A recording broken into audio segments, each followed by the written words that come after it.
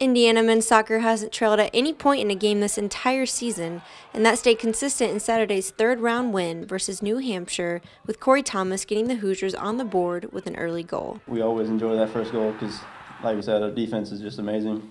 And then we ended up getting a nice second goal. Spencer putting his body on the line, Frank putting it home. And once it was 2 0, I had a pretty good feeling we would lock it down. The Hoosiers earned much needed insurance from a Francesco Moore penalty kick goal as they ended up conceding their fifth goal of the season late in the game in the 2 1 win. I think tonight we were, we were pretty good. I think we can still be better and something we'll keep working on. After tonight's win, it'll be the first time since 2012 that the Hoosiers have made it to the quarterfinals. And Coach Yeagley and his team said they're excited to be able to play for a chance to go to the College Cup on their home turf.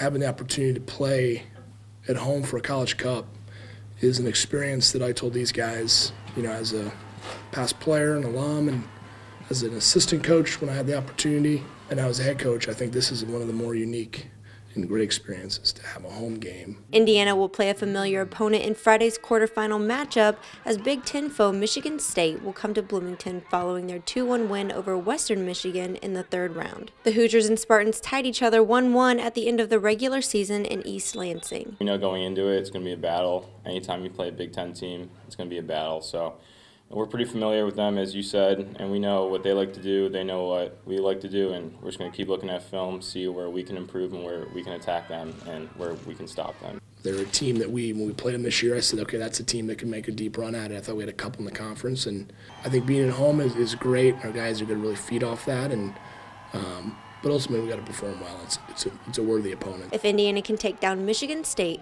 they'll head to their 19th College Cup in program history and first since 2012. For IU Sports Media, I'm Mackenzie Salmon.